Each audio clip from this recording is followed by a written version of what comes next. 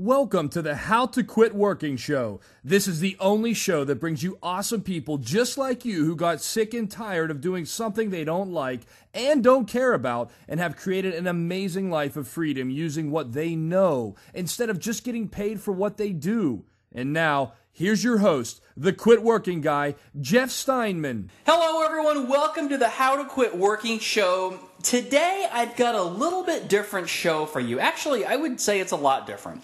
We talk to a lot of people on this show about creating a business and doing something with their life that they really care about, they really love, and they're passionate about. But today, we're going to get a different perspective on that. Today, I've asked Jim Beach to join us. Now, Jim has started multiple multi million dollar businesses as well as taught business and entrepreneurship as a university professor. And today he is going to give us a different perspective than what we normally talk about on this show about creating a business and about what it really takes to be a successful entrepreneur. Jim, welcome to the show. Thank you so much for having me. I appreciate it. Jim, I'm excited to have you here because you have a different perspective about entrepreneurship and what it means to be an entrepreneur, and more importantly, what it takes to be an entrepreneur. Can you talk a little bit about that? Yeah, you're, you're right, Jeff. I really do think that my view is a little bit different. You know, if we were to play Family Feud, Jeff, and we were to have the top three answers on the board to what is entrepreneurship, I'm pretty sure the top three answers would be creativity, risk, and passion. And I believe that those are the three things that are holding people back from being the successful entrepreneurs that they want to be. There's these myths out there about entrepreneurship. People think that only creative people can be entrepreneurs, and I think that's 100% wrong. People think that you have to take a lot of risk to be an entrepreneur, and I think that it's actually the other way around. Entrepreneurs are people who figure out how to reduce risk to the point where it's a no brainer. And more importantly, and this is the most important thing, Jeff, passion is bad. I don't believe in passion at all. I am not passionate about my entrepreneur uh, activities. I'm not passionate about the goods and the products that I sell. I am, however, very passionate about the process, the freedom, the fact that I don't work for the man, the fact that I eat what I kill, the fact that I am in control of my destiny. But, Jeff, I don't care what I do, I don't care what I sell. As long as I get to go to Disney two weeks a year with what I am passionate about, which is my three beautiful children and my incredible wife, I'll, I'll do almost any entrepreneurial activity if it means that I have the freedom to do what I, you know, the other things that I want. And that's what I think the beauty of entrepreneurship is, is that it allows me to go to ballet at two, soccer at four, and then say, hey, I'm done for the day. I'm quitting. You know, I, I love that uh, expression that entrepreneurs can work any 27 hours of the day that they want to, and that they have that freedom. But you know, it is true. I work very, very hard as an entrepreneur, mm-hmm. but I also have more freedom than any of my friends. I spend more time with my children than any of my friends because of the entrepreneurship lifestyle that I've been able to create for myself. And, you know, I love your blogs, Jeff. I was looking through some of the things that you've been writing about. You know, I, I really uh, agree, and I'm so happy to, to have met you because I think you and I are real kindred spirits in this sense. Yeah. You know, people can be entrepreneurs with never having had a creative thought in their body. You know, they don't have to uh, have this inspiration, this lightning bolt from God, Yahweh, Buddha, Muhammad, whoever. You know, you can just go on Mr. Google and type in free business ideas for under $500. And I think the, the listeners would be blown away by how many hundreds of business plans are online that people are giving away. You know, the opportunities, the ideas are out there. It's really easy to find a, a problem to go solve. And I love that definition of entrepreneurship as solving problems with limited budgets. Mm-hmm. That's to me a really cool definition definition of entrepreneurship because it embodies what you know what I want to, to say that you don't have to be passionate about this. You know, I will sell anything that's legal if I can go to Disney an extra week of the year because of it. And so my views, I think, are a little bit different on entrepreneurship, but it's really empowering for one of the 72% of Americans who claim they want to be an entrepreneur. So 72%, Jeff, want to be. 10% are. So we're looking at 60% that are sitting on the sofa Mm-hmm. because they're afraid of creativity, risk, or passion. They, you know, we hear excuses like, "Well, I can't be an entrepreneur right now, Jeff, because you know my boys are about to go off to college. And now's a bad time for mm-hmm. me to take this risk." Mm-hmm. You know, I hear that a thousand. Or uh, I'm just waiting. You know, as soon as I get my inspiration. Mm. As soon as I find a cool business for me to start, well, I'm going to jump right in with both feet. Mm. Just as soon as God gives me an idea. Well, mm. that person will die sitting on the sofa, remote in hand, with no business to ever run. So, Jim, your, your advice for the for that guy, for that person who's in that situation, is just find an opportunity. Doesn't matter if you like it or not, and and push forward with that opportunity. Is is that what you're saying? Yes. You know, I I am I do love what I do, and I don't want to dismiss passion. I'm very fortunate that I love being on the radio with you, Jeff, and I appreciate yeah. talking, and I love writing the book and talking about it and stuff like that. But I'd rather be at Disney World right now. You know, I really would. I love being with you, but I'd rather be at Disney. And yeah, you know, I'll be honest with you. Yeah. Uh, I like you a lot, but my kids and my wife, my wife is better looking than you, thank goodness. that's and, a good thing for you. yeah. and so, you know, when we talk about all of these things, uh, people assume that they have to do the business that they are passionate about because everyone says, you know, if you find a business that you're passionate about, you'll never work another day in your life. Mm-hmm. Well, that's not true either. You know, and I'll tell you what I'm passionate about in the real world, other than the the ethereal, you know, the love that I have. I also love woodworking. I, mm. I love woodworking. Nothing makes me happier than going into the shop and making a piece of furniture and carrying it into the home to people tell me how beautiful it is and how beautiful it makes my home. Yeah. Well, I built, I built a bench about a year ago, and I carried it into my home, and two of my children sat on it, and it collapsed. Oh, Jeff, no. I'm not very good at building furniture. I love it, but I'm not ah. very good at it. I can't make a living that allows me to go to Disney two weeks a year as a furniture builder. Mm-hmm. I just can't do it. So I had to realize that, you know what? The things I'm passionate about are great things to be passionate about on Saturday and Sunday or on Friday afternoon when I have some free time. Mm-hmm. Because I have free time as an entrepreneur, but I also had to realize, you know what? overall, the basket of goods that I want out of life, I want this and I want this house and this car and these trips and these opportunities for my children. Well, if that's what I want, I realized that I had to do something to make money. And so mm-hmm. all of us make that decision. We go get jobs as doctors and lawyers and accountants because you know, we, we sort of like doing those things, but we understand that that's how we can support our families in a really nice lifestyle. And so yeah. we make those sacrifices. Well, wouldn't it be cool if we could still supply our family with all of those opportunities, but do it in a way that's not quite as horrible as being an accountant or not quite as morally offensive as, as being a lawyer, you know? I mean, or not quite as dangerous and scary as being a doctor right yeah. now. I know a lot of doctors, Jeff, and they're scared to death yeah. about their debt. They still have $100,000 in medical school bills to pay off. You know, these are people who are really afraid.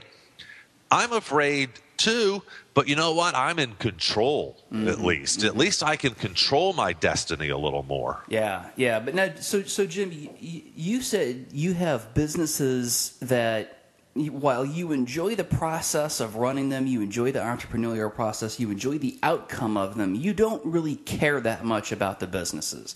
So how how do you keep yourself moving forward? Because one of the things that I tell entrepreneurs is, you know what, if you don't like actually the way I say it is entrepreneurship is too hard to do something that you don't like or, or that you don't care about. So how, how do you how, how do you keep it interesting and how do you keep yourself engaged and involved selling I don't know wedding dresses or some, something completely off the wall that just doesn't get you excited?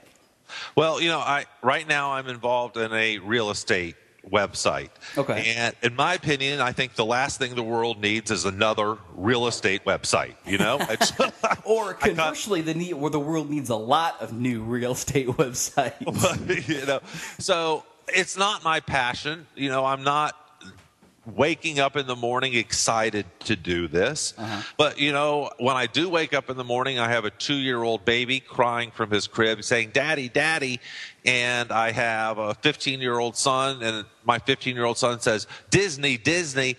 uh, it's easy enough to program your brain to think of the work that I have to go do today as simply work. I mean, again, those people who are, you know, uh, garbage men and doctors and accountants and stuff, they have the same thing. They get up and they don't necessarily love going to work, but they do it. And that's what adults do. You know, I mean, adults do stuff we don't like to do. We go and get colonoscopies, Jeff, because we're told we have to do it. We don't enjoy that process. Well, maybe some people do, but most of us don't enjoy that. So, you know, when I get up in the morning and I have nothing but real estate work to do all day, I simply say to myself, by working all day on this real estate stuff, I get to go on Space Mountain three times. You know, and so I've trained myself to realize I'm not going to enjoy the next three hours.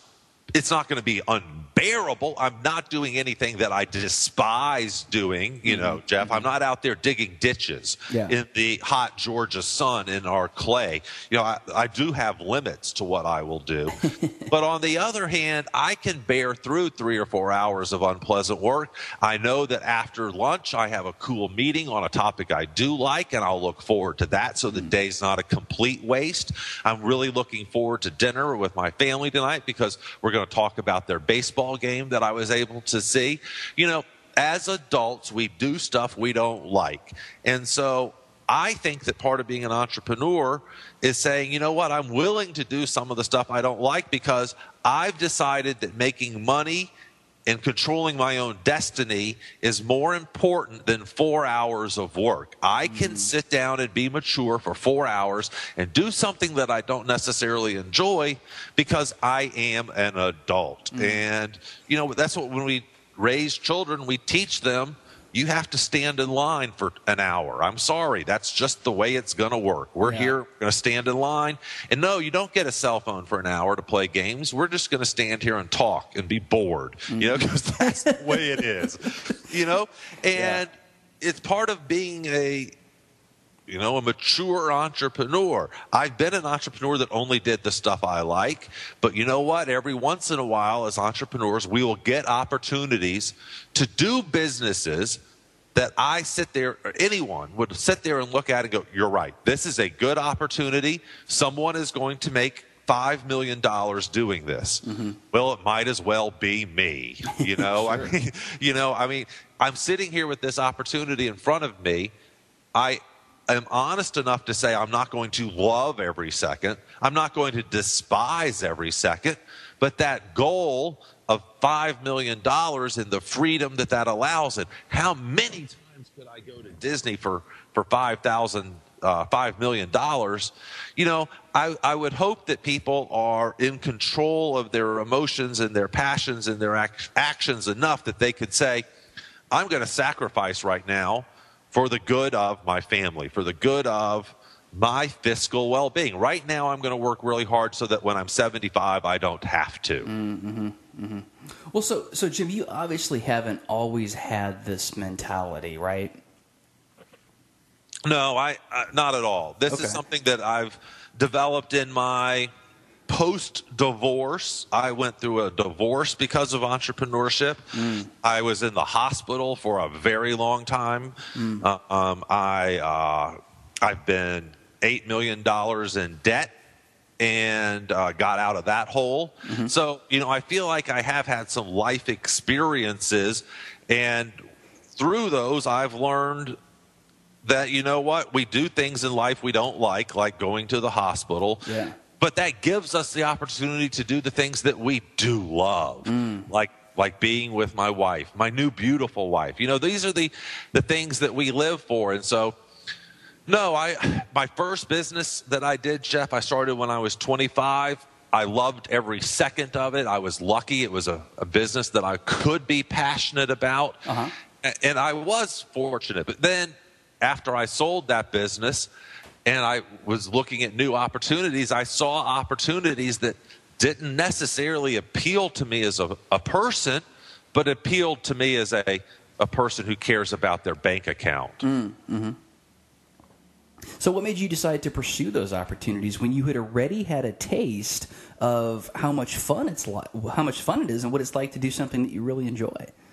Well, it was 2001. Mm-hmm. And I didn't have any other ideas. You know, uh-huh. this was the idea on the table. This was the model in front of me. The opportunity was there, and I, I had a choice: do something that I'm not in love with, or do nothing and continue to wait. Hmm. And that's the choice that the people listening today have. Yeah. They can do nothing or slightly acquiesce to the reality of the situation, whatever their situation is, and they can say, you know, I do want to be an entrepreneur, but I don't have a great idea yet. So, what I am going to do is go to Inc. magazine find something that's really working well in Seattle, and I'm going to do it here in wherever I live. I'm just going to do it and execute it better than mm. anyone else.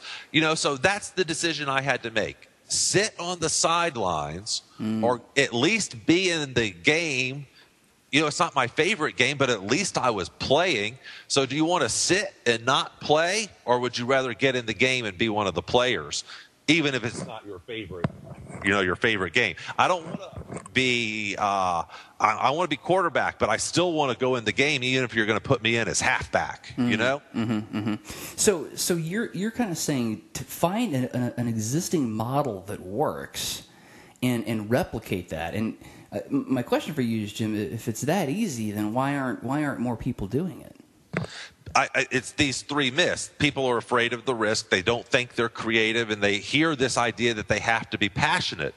And so they sit waiting mm-hmm. for an idea to strike them that they can do for free that mm-hmm. they're passionate about. Well, mm-hmm. that doesn't happen. Ideas do not fall into your lap that you can execute for free with zero risk that you're passionate about. That does not happen. Mm, right? Yeah. It's never happened to me. Maybe it's happened to you, Jeff, but I haven't been that lucky yet. And so those are the people who sit on the sofa and die holding the remote as opposed to die holding the paperwork for their LLC. Yeah. You know, so you know it's about compromise. Let me ask you this: Did you marry Heidi Klum? I did not. I did not either. I did not marry the most beautiful woman in the world. I married the third most beautiful woman in the world. I had to compromise. Uh-huh. You know, I mean, I hate yeah. to be so crass about it. Uh, we all make compromises in life. You know, I would like to live at the top of that mountain in that biggest house up there, but I don't. I had to buy this one down here at the bottom of the hill because that's what I could afford. We make compromises in life all the time in every part of our life, in our love life, in our activities, our vacations, everything. So, what's wrong with making a little bit of a compromise and saying, you know what, this isn't my dream business. My dream business was to own the world's largest airline. Mm. Well, that's just not realistic. You know, mm. as a starting entrepreneur, I can't do that. So, what's wrong with owning the world's best travel agency mm. in, Durham, North Carolina? What's wrong with having the absolute best travel agency in Durham, North Carolina? There's nothing wrong with that. And let me li- list some some uh, companies, and I'll make my point after I give you the list. Sure. Adidas, Nike, Hyatt, Hilton, McDonald's, Burger King, you know, Zestos, Chick fil A. You know, there are many, many, many, many incredible companies that we would all be ecstatic to own that are absolutely nothing but Me Too copycat businesses. Mm. 93%, Jeff, of the businesses around the world are copies of other businesses. That data comes from the London School of Economics from their Global Entrepreneurship Monitor. Wow. So if 93% of the businesses are copies, what's wrong with me copying mm. a business? Mm-hmm. You know. I have to do something new and original. No, you don't. Adidas, Nike, Hyatt, Hilton, Marriott. What's wrong with doing another pet food store? I'm going to operate the best pet daycare in Atlanta, by God. We're going to have the best service. We're going to have innovative things to do. We're going to have doggy treats at two in the afternoon. No one else does that. Mm-hmm. Uh, we're just going to do it better. Yeah. I don't care if it's new and creative. All I want to be is in control of my own destiny. Yeah. I, I, I just want to get in the game. Yeah. So you tell me some rules, I'm going to go play the game. I don't care if it's my favorite game or not. Mm. So, so you made you made an interesting point. You said do it better. Do you have to do it better in every in every single way? I mean, you have to be better at every single aspect of that company than say McDonald's. If I was going to be the next fast food sensation. No, you know, I, no. Uh, it's it's great when you can do a lot of different things better, mm. but I think there's really good examples where one or a company says we're going to do one or two things better and that's all. For example, Southwest Airlines, you know, they don't charge for baggage like everyone else in the world now. If you actually, you know, have a piece of luggage, they're not going to charge you for that's it. That's why I fly Southwest. well, there's, there's other reasons, but that's one of the big ones. Okay, there you go. It's that simple. They have found one way to differentiate themselves from everyone else. So my first business, Jeff, was in summer camping. There's nothing more less sexy than summer camp, right? sure. Except that we grew it to a $15 million a year business with 700 employees. That's sexy. Wow. But here's the difference that I made at the very, very beginning. We ran a commuter program and an overnight program. Every commuter program in America stops at 3 o'clock. Mm. Okay?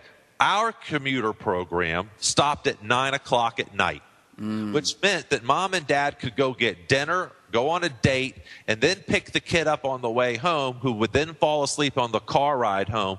Mom and dad truly got the day off. Wow. And our business thrived because of that one differentiation. Yeah. We said, we're going to make this easy for you. The yeah. whole point of you sending your kid to camp was to get rid of the kid so that you could have an easier day or week or month. And we're going to make that even easier by not requiring you to get off work at 2:30 to come home and get the kid for 2 hours. We're going to make it even so that you can go to dinner with your beautiful wife. That's how easy we're going to make it for you. That's all we did different. That's it. Yeah, and and why did you do that different as opposed to something like maybe having different activities for the kids or what have you? Well, you know, we did do some of those things too, and we were at better locations, the more convenient mm. locations. But you know, I had overnight students that I had to take care of 24 hours a day, right? And mm. mm-hmm. the commuters leave, the room is half as exciting as it just was, oh, okay. right?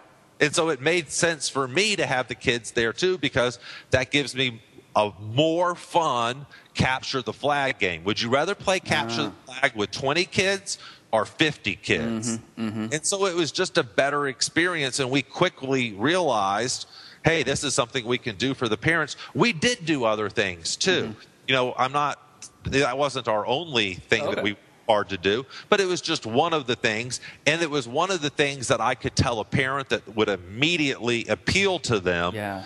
Because they just got six hours more for the same price. Yeah, yeah. Well, you know, and I think one of the key aspects is there is that you knew what your customer wanted. You understood what your customer's life was like and what would really help them out and give them a better experience. Well, that's entirely what that business did.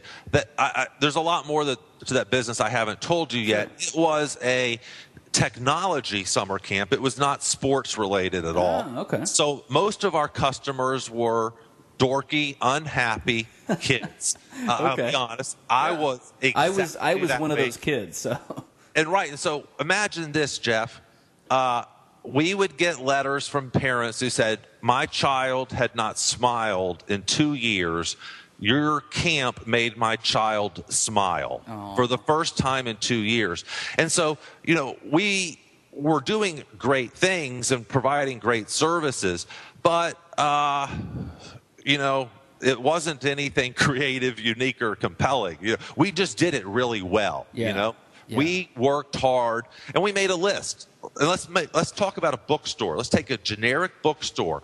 How could we make a generic bookstore better. If you made a list of every single aspect, how easy is it to get into the parking lot? How close are the parking spaces to the front door? How easy is the front door to open? What is the smell that you encounter when you walk into the bookstore? Yeah. Does it smell like coffee or baked goods or old rotting books. How helpful is the staff? You know, there's a thousand different ways you could make that bookstore better. What if you took the Disney example and went out and gave the parking lot names? Like, here's the Shakespeare section, and here's the you know, the uh, Alexander Dumas section, and here's the Tom Wolfe section. I mean, does it make the uh, parking any easier? No, but it makes the store 0.1% cuter, sexier, because they took the effort to name their parking spaces after authors. Mm-hmm, I mean, is it mm-hmm. really better? No, but it, there is a perceived value there. You know, these this bookstore owner cares enough to put a Shakespeare picture in the parking lot. Yeah. You know, for some reason, one of the uh, a famous Atlanta story jumped to mind uh, in 1978, there was a famous Atlanta snowstorm, and it closed the city. Okay. And there was one restaurant that stayed open and served almost all of the good part of Atlanta. Mm. And it was a one place, one chain, a guy running one restaurant, and that restaurant was about to go out of business, but because he stayed open during that storm, he endeared himself so much to the community mm. that he started to expand. That's now called Longhorn Steaks, and there's 3,500 of them in the United States. The oh, first wow. one, the first one started and stayed open, Jeff, because he was open during a snowstorm when no one else was. And now we have 3,500 Longhorn steaks because of it. And they make a good steak there. I love a Longhorn. Yeah. I love a Longhorn. And George McKerrow, the owner, the founder, is an amazing, an amazing man who did an amazing thing. He stayed at that restaurant for seven days in a row and cooked steaks for seven days in a row so people in Atlanta could have food during the storm. Wow, and that's all it took. That's awesome. That's awesome. So, so Jim, let's talk about this person who is who is on the couch with the remote, waiting for the right idea to come along or the inspiration from their higher power or whatever it may be. They're, they're waiting. What, what are a couple of, of first steps that you would give them or things that you would have them do if they came to you and they said, Jim, okay, I'm tired of all this BS that I'm hearing. I'm on board with what you're saying. Tell, tell me what the heck to do. Well, can I make the case a little bit more extreme, Jeff? Yeah, I, I, I wish you would. Yeah, let me kick it up a notch. So, somewhere in the, my book, I, I, wrote that anyone can be an entrepreneur. Uh, it's on page 68 or 112 or something like that. Okay. And so the phone rang two months ago, and it was a young man, 26 years old, and he called and was like, Jim, I only have five minutes to talk. And I was like, fine. He's, uh, I'm uh, just got out of jail. I'm in rehab right now for my heroin addiction. I'm bipolar and schizophrenic um, but I want to be an entrepreneur. Can you help? Mm-hmm. Your book says anyone can be an entrepreneur. I'm going to test that. And that person is now a business owner two months later and has already started making money. Wow. Already making money uh, the business they're doing is the least sexy thing on earth. If I were to tell you what it was, you'd be like, oh, that's not so cool. Except that a bipolar schizophrenic heroin addict who just got out of jail is now doing it and making money two months later. Wow. Okay. Wow. So, you know, for me, the first step is something a little motivational. You know, I want you to put the remote down. I want to tell you a couple motivational stories. I want to tell you about my friend that I just mentioned who stepped forward. I want to tell you about my wife. On December 26th, so six, seven months ago, my wife, I challenged her to start a business. Mm. And she started a business for under a $100 and is now making about $5,000 a month uh, top line and probably about eleven or fifteen hundred dollars a month profit. Okay.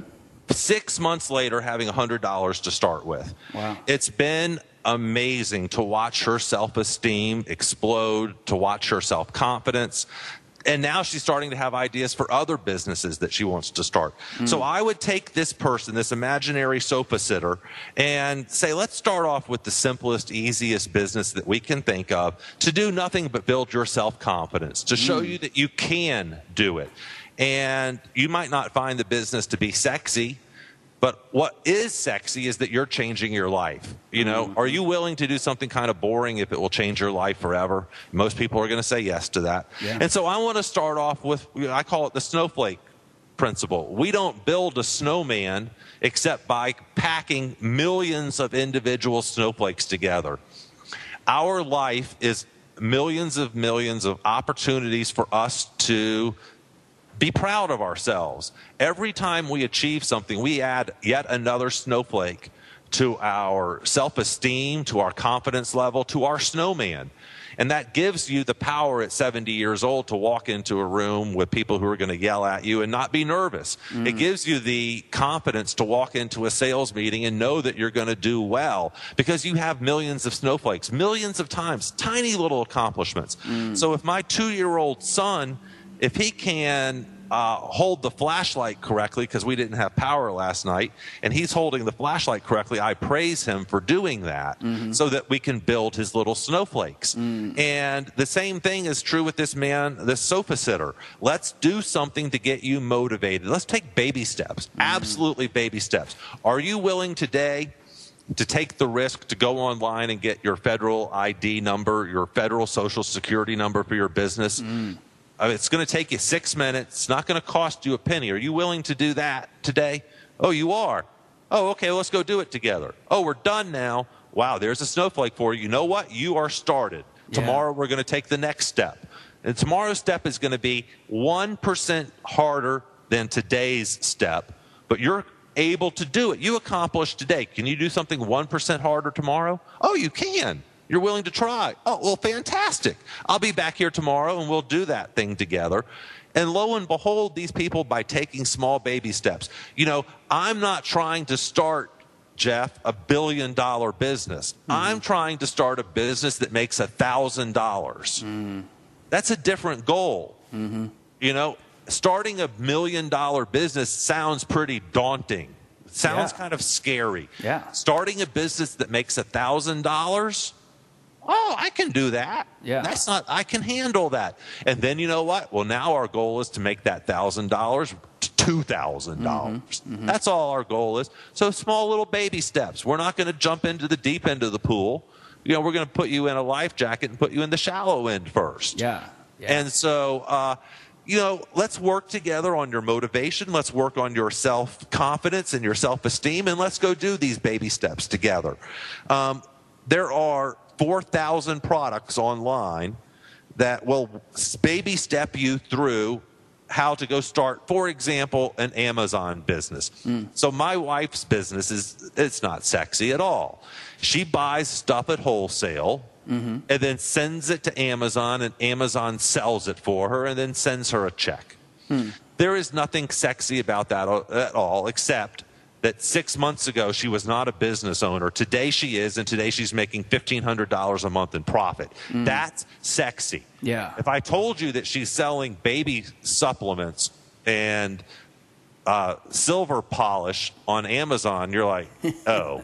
That's not very sexy, right. except that she's making $1,500 a month after six months. Yeah. You know, that's sexy. Her goal is to get it up to $3,000 a month so that she can pay our mortgage. Oh, you know, if all of a sudden your mortgage disappears out of your family's life, mm-hmm. that's called sexy. Yeah.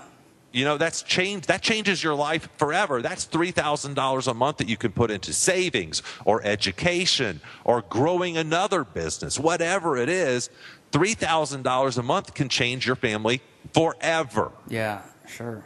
Sure. And that's sexy enough to make the most boring Amazon business sexy, sexy. Yeah. When I, Jim, you, you mentioned you have a couple of kids, right? Three. Okay. So, isn't it?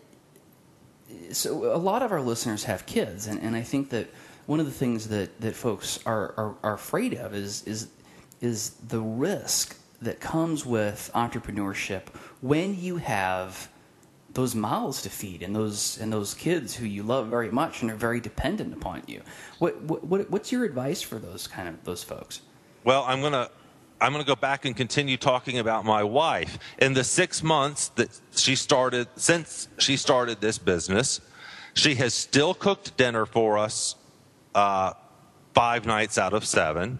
Our baby is still clean. Mm-hmm. Our house is still clean.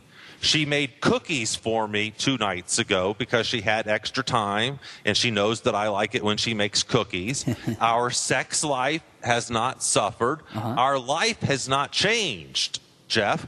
She's able to do this in four or five hours a week. So she's not reading as much leisure activity as she used to. Mm-hmm. She's given up one of her hobbies but our life has not changed. She still works a full time job.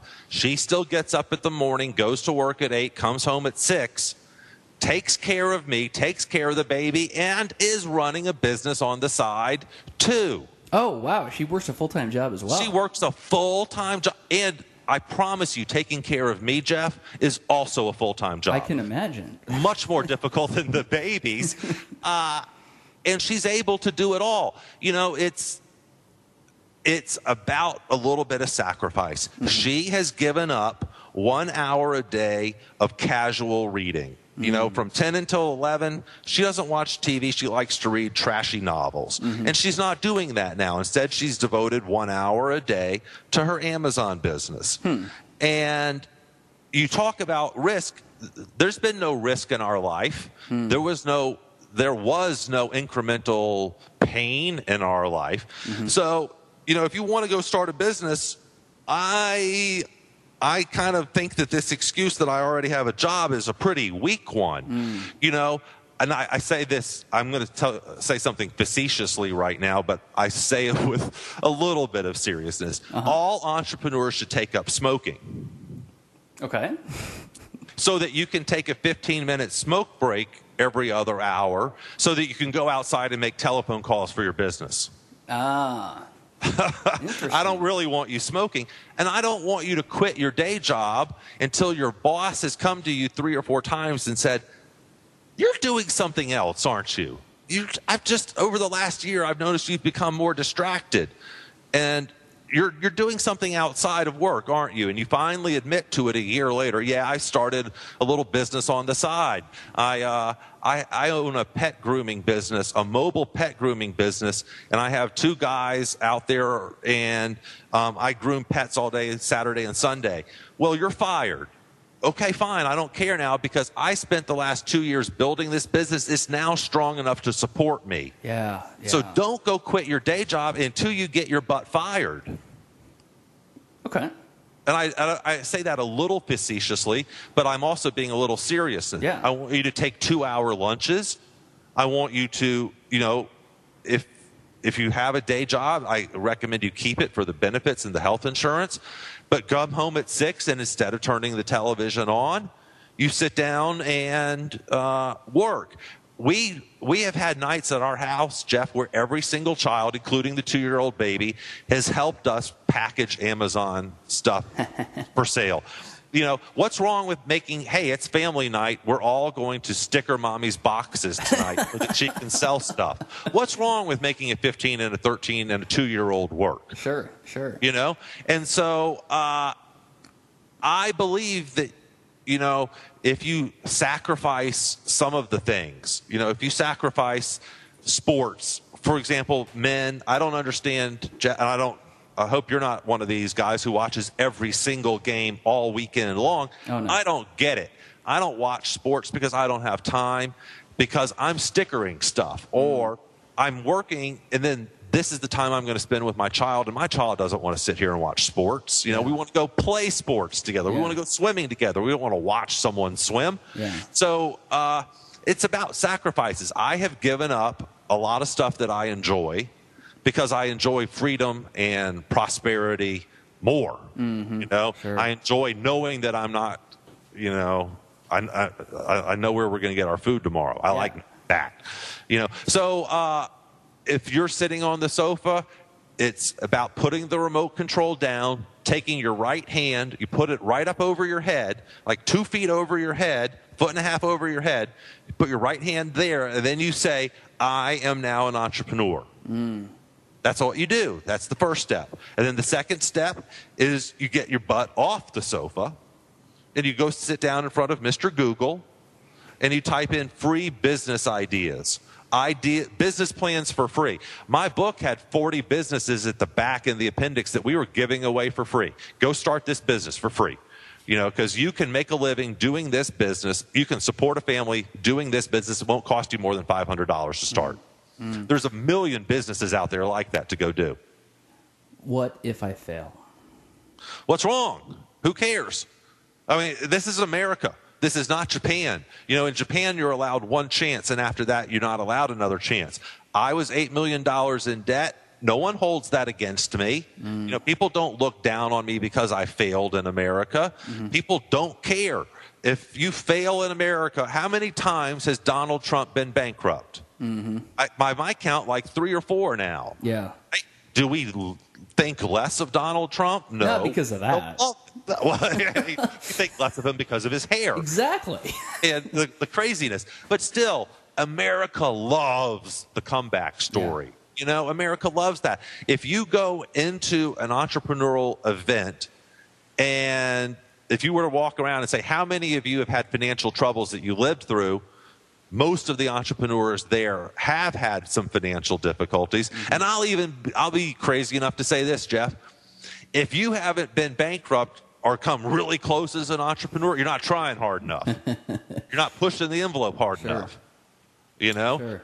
So in America, if you fail, we, we dust ourselves off, we get up and we go try again.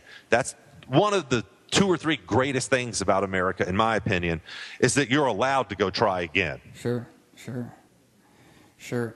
Well, Jim, so how, how do you raise your children in a different way than that guy sitting on the couch with the remote control, or somebody who's maybe not that extreme of a case, maybe somebody uh, who's kind of more in the middle. But cl- clearly, you want to pass this mentality and this lifestyle onto your children. So, what do you do with them? How do you how do you parent them differently to ensure that they end up as as as business savvy and, and with the awesome lifestyle that you have?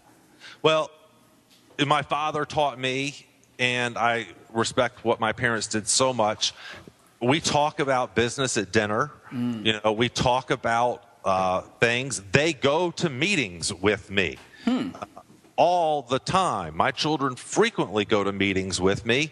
Uh, I, as a matter of fact, a month and a half ago, a ex client, ex student of mine called and said, Jim, I would like you to meet my new CEO and you know it's a casual thing and i was like fine. I showed up with a two-year-old baby in t-shirt.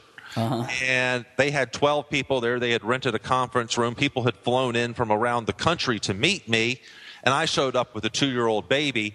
They looked at me like oh my god this man is insane. Well the it was a 90 minute meeting. The baby didn't speak once. Uh-huh. Uh, the baby was perfect because it wasn't the baby's first rodeo. The baby ah. knows how to shake hands. The baby's been going to meetings since it was six weeks old, Aww. literally. You know, uh, the baby knew what to do. They at the end, they commented more on how well behaved the baby was than how smart I was. I got hired because the baby was so good. Uh-huh. uh, my children, my older children, go and watch me lecture. Uh, I used to be a professor, and I would make my children. I made my son when he was five stand up in front of my MBA class that I was teaching and tell the MBA class what we had done that day simply so that he could get experience talking in front of people and not learn to be nervous about it. Oh, and awesome. now he's an amazing communicator. My children are intimately involved in my businesses. They know what I'm doing. They know that I have a bad week. I tell them I had a bad week. This mm-hmm. is what happened. Mm-hmm. And I tell them I had a bad week because daddy's ego allowed him to get mad. Ah. Daddy did something stupid because I got mad at someone and yelled at someone. Uh-huh. And boy, am I embarrassed now. And now I have to go apologize to this person. And I hate apologizing, and they know that. And so, you know, uh, it's about being honest with them, helping them live through the experience. You know, what's wrong with taking them to look at a piece of land to decide whether to buy it or not? Yeah, that's awesome. You know, I mean, so my children have been involved from day one. Um, and it's simply because that's the way I was raised as well. My parents involved me at, at the earliest age possible. I remember going with my parents to look at things, going to auctions and bidding on furniture that I was buying for my bedroom when I was nine. Hmm. You know, I mean, their money, but they let me do the bidding, you know? Oh, that's awesome. Um, and that's the same thing with my kids. I want them to be involved. I want them to hear the conversations I'm having, and I don't shelter them from too much of the good or the bad. That's awesome. It's a very different perspective, you know, because when I was growing up, it was about, you know, there's adult things and there's kid things, and they're totally separate. Well, how do the kids learn about the adult things if the adults don't show them? Exactly, exactly. And and why? What's wrong? You know, there's different versions. I tell my 13 year old daughter a different version of the story than I tell my 15 year old son because they're emotionally, mentally, physically capable of handling different things. Yeah. My daughter cries. Okay, so I don't tell her the things that are going to make her cry. I'll tell that part to my son. Uh huh. You know, it's just different. You know, Yeah. Each child you have to treat differently, but treat them, you know, as you know they're they're smart. They're they're smart enough to listen. They're probably listening when you don't think they are. You might as well include them so they feel like they're part of it. Sure. They love it when they get invited to go to see me give a speech. Yeah. They, that makes them so happy. Yeah. You know, because they feel proud and. Uh, you know, I have a, a radio show that I do as well, and I had my daughter on the show the other day. She was sitting in my lap during the introductions. Uh-huh. know, and I had her talk into the microphone. And the second she got done, she tweeted all of her friends about it and said, "Listen to me on the radio with my daddy." You know, Aw. that that's one of her snowflakes. Yeah, You know, that yeah. makes her think she's cool. That makes her know that she's good enough to be on the radio. She's been on the radio before. If someone, you know, she does something and says, "Will you come and talk about your product, your cool new business on the radio?" She'll be like, "Sure, I've been doing that since I was 13." Uh-huh. That's awesome. That's awesome. Well, Jim, what would you say is the biggest mistake that you've made on this journey? Oof. Well, gosh, I've made a lot. I mean, I don't. We're going to have to have a whole nother hour, Jeff. Uh, as I said, you know, I've been eight million dollars in debt. I've been very, very, very sick. Uh, I have had doctors tell me that they were going to go get me a hospital room, and while they leave the. Uh, my, you know the examining room. I put my clothes back on and sneak out of the door because I have a meeting with a venture capitalist or a banker. Um, I my health. I've uh, I've taken very poor care of my health, and because of that, I've had you know some surgeries and stuff like that. Um, and that was my biggest mistake. Uh, other than that, just not pushing hard enough. You know, I sit back and go, "Gosh, I could have grown that business faster. I should have. Ah, that one was a one million. It should have been a five million dollar business. You know, uh, I wish I'd started sooner. You know, I wish that I knew now what I, you know, or could have known then. I wish, you know, that I could uh, tell myself 20 years ago, there's nothing wrong with failure. There's nothing wrong with pushing. You know, Sure. if people laugh at you, you don't care. You know, uh, the check's still cashed. Um, I would tell myself, you know, instead of starting when you're 25, start when you're 15. You know, and I would throw away the television. I would have, you know, I wouldn't have gone off and bought that new TV that I bought. yeah. Um, cause, you know, I'm working really hard right now. I haven't watched TV in the last two months. Um, and it's because of my work schedule right now. Yeah. And I don't miss it.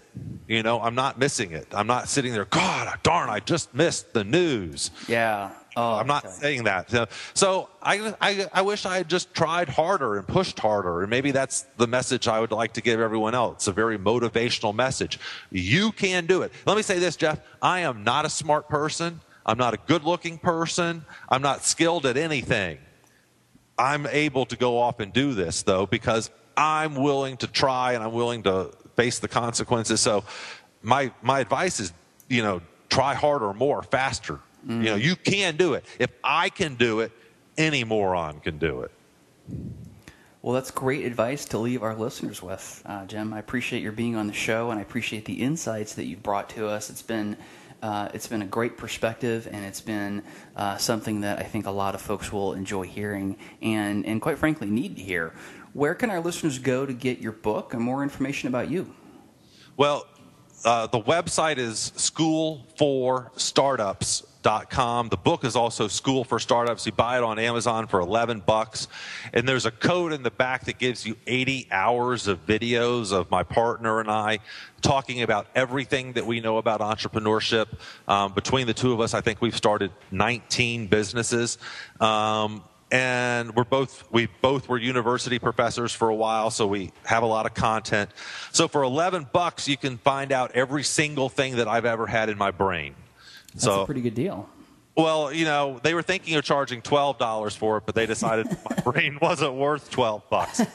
so it's eleven dollars worth of information. Um, and you know, I'm on Twitter at Entrepreneur Jim. I'm on LinkedIn, Jim Beach. I connect with everybody. Um, I would love to talk to people. I will give my email address if you would let me. Um, Absolutely. You know, I am James dot beach, B E A C H, at att.net. You hit me up, we'll set a time to talk, and I'll do anything I can to help you. That is quite a generous offer, Jim, and I appreciate your offering that to our listeners. Anyway, for the book, it is schoolforstartups.com, and that will be below the show in the link, as well as all of the contact information that Jim just gave. Jim, thank you so much for being on the show. I look forward to staying in touch and seeing what awesome things you do next. Likewise, Jeffrey. I appreciate it. Thanks, Jim. Thank you. Thanks for joining us on the How to Quit Working show. Tune in next time when we'll talk to another amazing person just like you who is now living the ultimate life of freedom and doing it on their terms. If you want to learn how to quit working and get these episodes delivered directly to you, visit howtoquitworkingshow.com.